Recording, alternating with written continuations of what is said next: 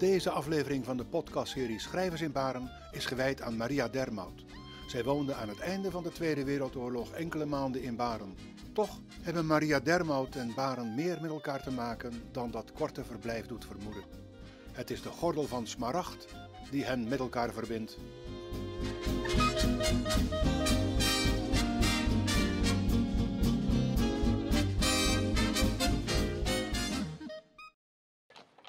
Het was een grote platte boerenkar met een afdak en opzij gesloten.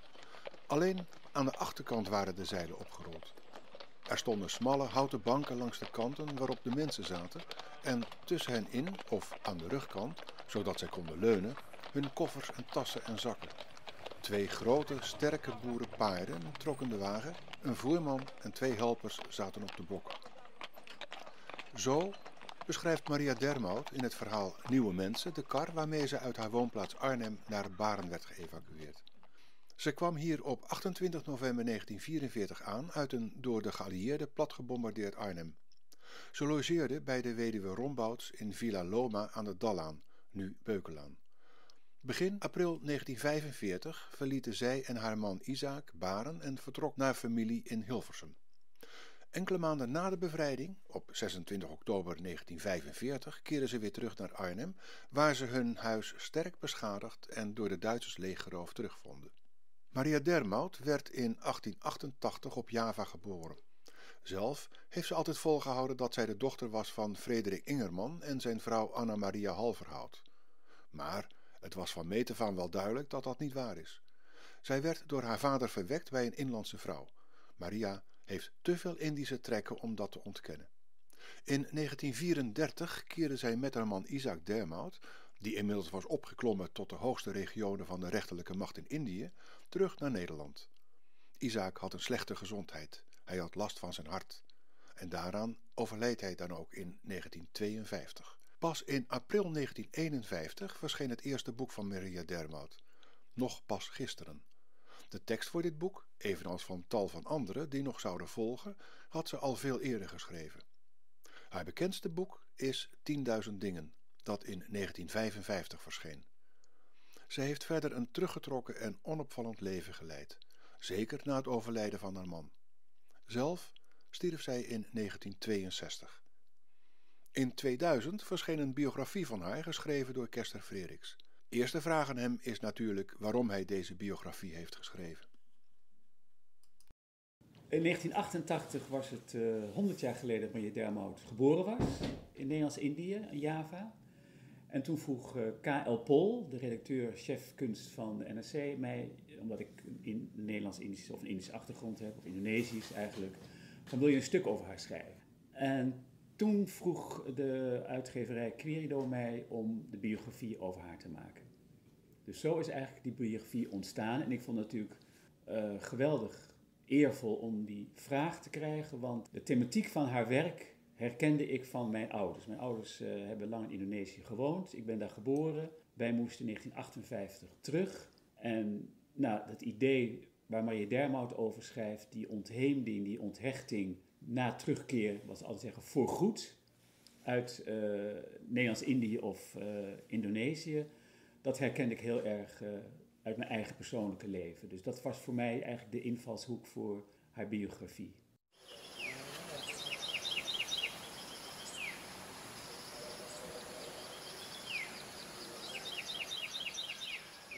Wat zou jij als de overkoepelende thematiek van haar werk beschouwen? Wat heel erg voor haar werk geldt, is toch wel het Oosterse denken. En daar bedoel ik mee dat je denkt in een bezield verband.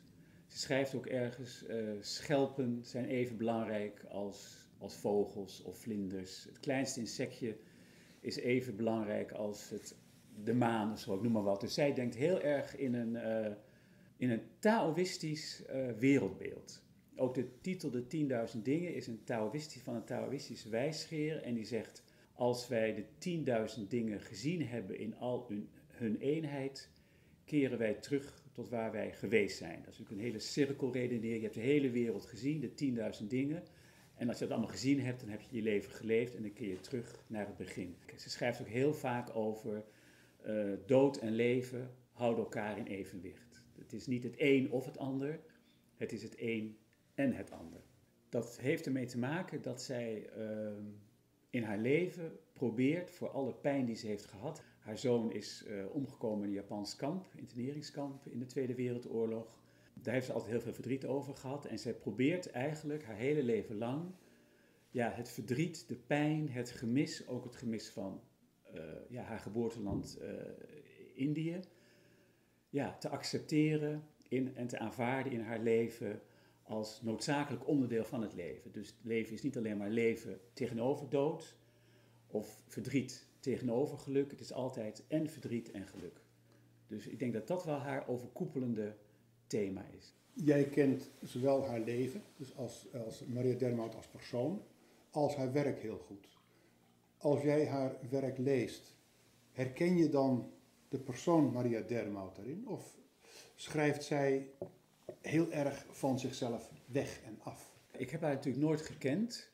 Maar wat voor mij heel onthullend was en ook sturend bij de biografie, dat ik dankzij haar dochter inzage kreeg in het dagboek wat zij bijhield. Zij heeft haar in Nederland, heeft in de jaren 50, begon ze daarmee, 50 tot aan haar dood in 62, heeft ze een dagboek bijgehouden, helemaal minutieus handgeschreven, heb ik helemaal ontcijferd en uitgetikt. Dat is een waanzinnig mooi, belangwekkend document. En daarin schrijft ze heel erg over die thematiek van gemis. Uh, ze had een grote jeugdliefde, die is haar leven lang, uh, van wie, dat is niet haar man, maar dat is een andere, Albert Brouwer. En ja, die jeugdliefde is ze kwijtgeraakt en heeft ze naar de hand in haar leven weer teruggevonden, na de dood van haar man. Maar die ging ook weer bij haar weg. Dus uh, ja, haar leven is wel doortrokken geweest van, van gemis. En dat woord gemis tegenover vertroosting, dat zijn eigenlijk misschien wel de twee uiterste woorden die aldoor in haar werk en zeker in het dagboek voorkomen. Dus haar persoonlijke dagboek heeft mij haar werk beter leren uh, begrijpen. Dus in zoverre zou je inderdaad kunnen zeggen dat uh, haar boeken wel degelijk de stem van haarzelf zijn. Op, tot grote hoogte is denk ik haar werk autobiografisch. Want ze gebruikt elementen uit um, haar jeugd in Nog pas gisteren. Dat is ook interessant, want je maakt een biografie over iemand die al op 18-jarige leeftijd begon te schrijven, maar op 60-jarige leeftijd pas debuteerde. En in die debuut gaat ze terug naar zichzelf als meisje van 16. Daarin zie je dus dat ze elementen, of heel veel elementen uit haar biografie of autobiografie, heeft gebruikt voor haar boeken. En daarbij komt ook nog twee andere elementen. Ten eerste, haar man was landraad, rechter. En ik heb een aantal van de verhalen die zij, of hoofdstukken die zij gebruikt in de 10.000 dingen, waren dus een casus of een, een, een rechtspraakonderwerp, ja, een casus van haar man. Die heeft natuurlijk verteld, zeg maar, aan tafel, dat dat moet ik doen, dit en dit is gebeurd. Bijvoorbeeld een aantal vrouwen hebben een posthouder uit jaloezie vermoord, onder water gehouden. Nou, en dat heeft zij onder, ondergebracht in het grote geheel van de 10.000 dingen. Dus er zit heel veel geweld en vreedheid eigenlijk in. Is dat ook een van de redenen geweest waarom 10.000 dingen bijvoorbeeld in de Anglo-Saxische landen zo populair is eh, geworden? Ja, want die begrepen dat. Dat is heel Die begrepen raar. geweld. Die begrepen geweld, maar die, begrepen, die waren ook gefascineerd door de vorm van geweld. Dus niet doodschieten, wordt niemand echt met een geweer of zo. Uh, maar het, uh, wel met een pijl en boog of met uh, onder water gehouden worden. En wat ook een heel gewelddadig iets was. Dus allemaal Indische of Indonesische manieren van geweld is bijvoorbeeld iemand of een jaloerse vrouw die deed ge, fijn geknipte snorharen van een tijger in het eten van een andere vrouw. En dat zijn dus, dat zijn dus uh, die, die tijgerharen hebben enorme weerhaken.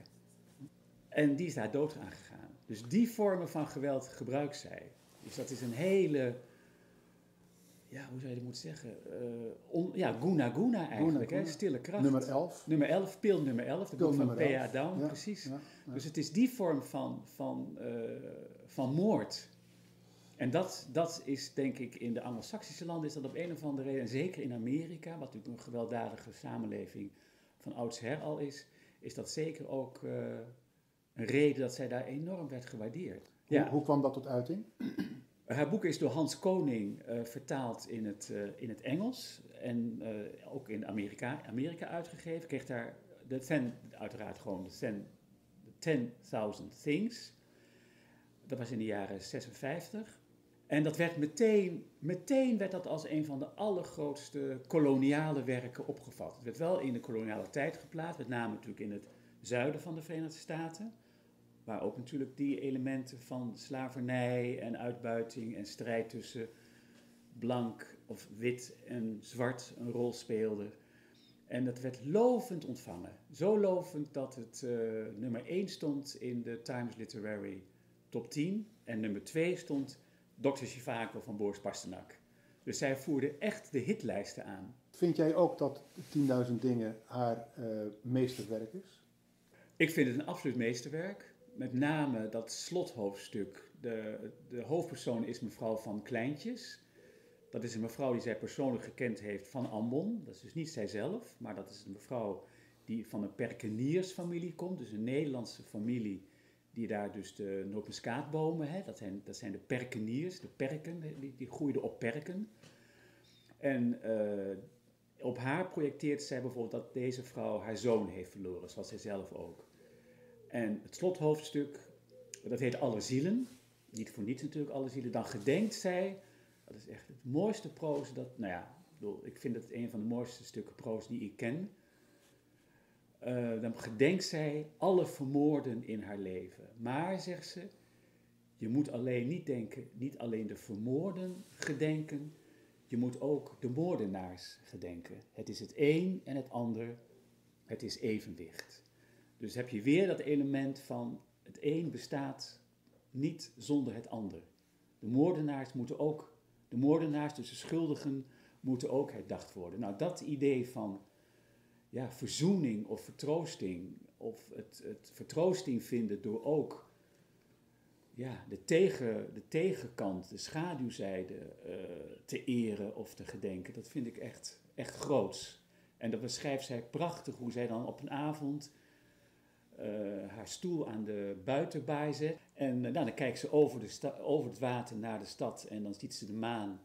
En dan komen de bedienden bij haar en die zeggen, wilt u nog een kopje koffie? En als de laatste woorden zijn dan, en zij probeerde haar leven verder te leven. Zij probeerde haar leven verder te leven. Nou, dat is zo magistraal. En het is magistraal omdat je het eigenlijk, het is heel subtiel. Je moet echt, ik, ik heb het boek omhand wel 20, 30 keer gelezen om het echt te kunnen doorgronden. Omdat het zo heel subtiel, heel onderhuids geschreven is. En dat vind ik heel bijzonder aan haar toon. Wij, wij zijn, wij zijn uh, twee uh, oude witte mannen. Hè? We lopen allebei zo'n beetje tegen de 70. Het zit nog een beetje in onze belevingswereld. Wij hebben dat gelezen op de middelbare school. Waarom zouden jonge mensen dit boek nu nog moeten lezen? En kunnen ze het nog lezen? Ja, dat is een hele, een hele interessante vraag. We leven nu natuurlijk in een tijd waarin het koloniale verleden eigenlijk alleen maar uh, wordt bekritiseerd en fel wordt bekritiseerd. En Maria Dermout, Helle Hazen, die behoorde toch tot de welgestelde klasse in het uh, voormalige Indië. En als je haar werk leest, om even op haar te concentreren, dan blijkt heel sterk dat zij wel degelijk heel veel band, affiniteit, verwantschap, begrip had voor, um, ja, voor wat, wat, zou je, dat zou je nu zeggen, de gekoloniseerde. Dus de, de, de mens van Nederlands-Indië of Indonesische afkomst. En daarom zou je het moeten lezen om dat zwart-wit zwart denken, waar we nu denk ik heel erg in terecht gekomen zijn, om dat zwart-wit denken op zijn minst uh, te nuanceren en ook te begrijpen dat de stemmen van toen, van de mensen die dus echt in die, diep in die koloniale tijd geworteld waren, dat die stemmen ook begripsvol waren jegens uh, ja, de gekoloniseerden. Dus dat zwart-wit denken, dat maakt denk ik heel veel, heel veel kapot als je, als je denkt over de voormalige kolonie. Je hebt een paar jaar geleden heb je er een, een, een pamflet over geschreven, hè? Tempo, Tempo Dulu, een omhelzing.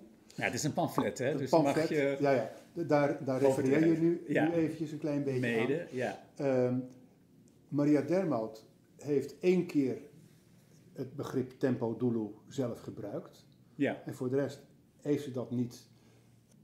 Zou je toch kunnen zeggen dat haar werk doordrongen is van de tempo dulu sfeer? Ik denk dat zij dat gemis van Indië, waar heel veel van haar boeken over gaan, of het gemis van haar geboorteland, dat dat wel voor haar ehm, heel zwaar is geweest.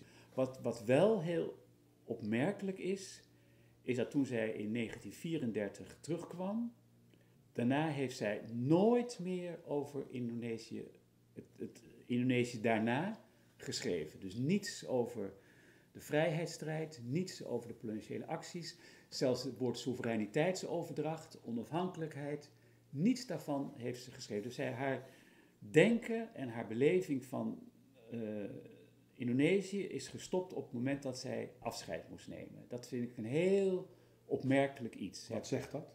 Ja, dat is natuurlijk een hele interessante vraag. Ik denk dat zij gedacht heeft: ik wil niet weten hoe het met het land verder gaat. Ik wil het land, en dat is wel dan wat jij zegt, nostalgie. Ik wil het land en mijn herinneringen bewaren zoals het was toen ik het verliet.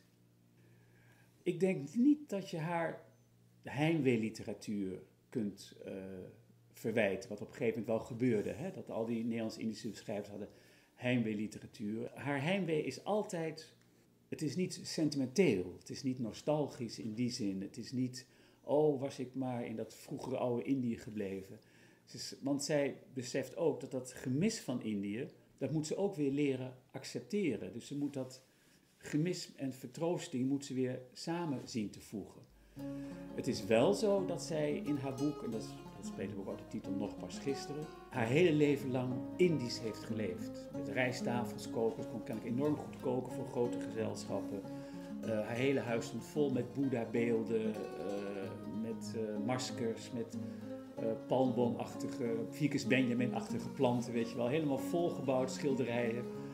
Dus zij leefde helemaal nog eigenlijk in Nederland alsof het het oude Indië was.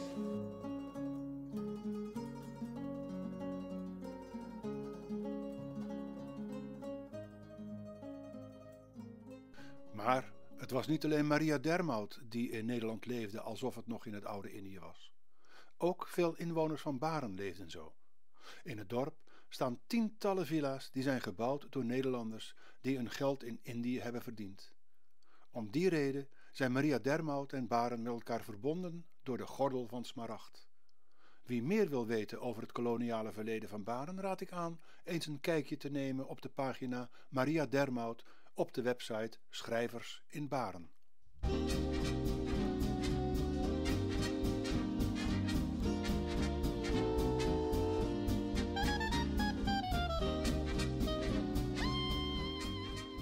Dit was deel 8 in de serie Schrijvers in Baren, gemaakt door Kok de Zwart en dit keer met medewerking van Kester Freriks, die in 2000 de biografie van Maria Dermout publiceerde. Neemt u eens een kijkje op de website www.schrijversinbaren.nl. Daar vindt u meer informatie over de schrijvers die in deze serie worden besproken. En van daaruit kunt u ook doorklikken naar de korte films die ik maak in samenwerking met Bob van Delft en Wil Hordijk van RTV Baren.